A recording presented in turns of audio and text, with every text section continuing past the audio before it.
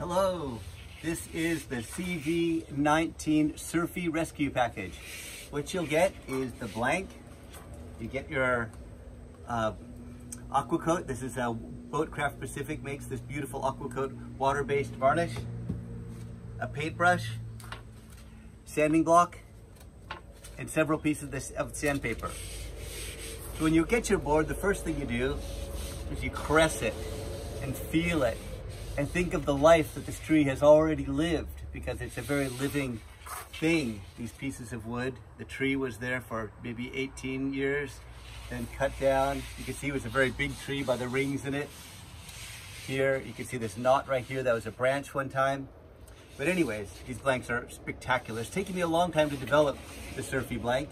And the thing about them is they're very flexible. and the way I've done that so that they don't crack and maintain flex is I have, there's four layers in this blank. One layer is flat on the bottom, then one layer goes like that, then one layer goes like that, and then one layer on the top like that. And it's vacuum bagged down. So it doesn't crack. It, it'll, it'll bend, but it doesn't break. But they do twist. And that's one thing about having the, the layers like that. So if you get it and you leave it in the car or you pull it out of the bag even for the first time and it's flattened out or it looks a little bit twisted or a little bit funny, it will come back. It's just that the different layers inside have a little bit of different moisture content. And if it continues to be twisted, just put some books on it and it'll straighten out. It'll be fine in the end. And if it's a little bit twisted in the water, it doesn't matter anyway. So when you get your board, the first thing you do after you love it is you get your um, 80 grit and you want to roll around the nose and just, just roll it off a little bit and the bottom as well. Roll it off so it's nice and smooth. Little half circle there. And then if there's any other rough spots, then the next thing is you take the next grit down, the 180 grit and the sanding block and just give it a good sand up and down and you'll feel the board get smoother as you sand it and especially on the rails here nice and smooth, long strokes like that. And then after that, if you really feels good, take your 400. And again, especially on the bottom or wherever, wherever, especially on the bottom of the rails, just keep sanding it until it's really beautiful. It really should take you about 20 minutes at least per grit of sandpaper going down. You don't need to hit the bottom of the board with the 80 unless there's unless there's a glue mark or something that you, or a rough spot that you want to get out after you put your art on, this aqua coat made by Boatcraft Pacific is amazing. It, it goes over crayons, pastels, acrylics, and pretty much anything this will go on and keep it on top of the board uh, and, and protect it.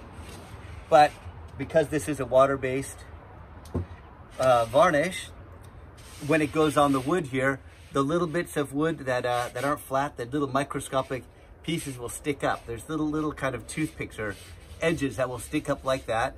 And you want to, after the uh, varnish dries, you want to sand those back. And sometimes that takes the, a, bit of effort. So now this board, well, it's uh, just about ready to go. Put some art on it. So I'm going to grab some, uh, some my, my uh, acrylic watercolors over here and put a big fish on it.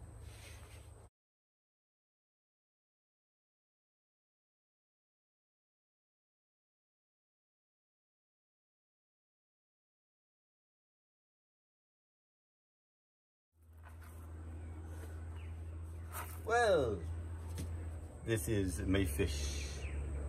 Now it's time to varnish it. now the artwork is dried on this side, so let's paint up or varnish up. And the beauty of this varnish is it's like rubber when it dries, so it'll flex and not crack. So it really lasts a long time on these boards. And it has been one of the uh, overriding secrets to my ability to make flexible surfboards, my finless and then the Corky Nose Riders. Then one of the keys to this is not getting drips because it doesn't, it does, it's not the greatest sanding varnish of all time because it dries so rubbery.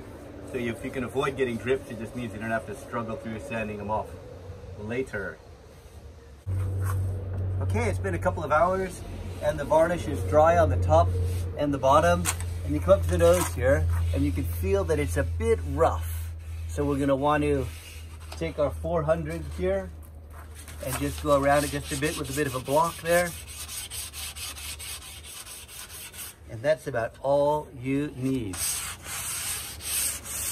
Just uh, finely sand off the rails. And then the bottom of the board, it's a bit more roughed up. We can take the um, the 180 grit and give that a, a, rub down first like this. Then go the 400 again to smooth it all off, make it nice and smooth.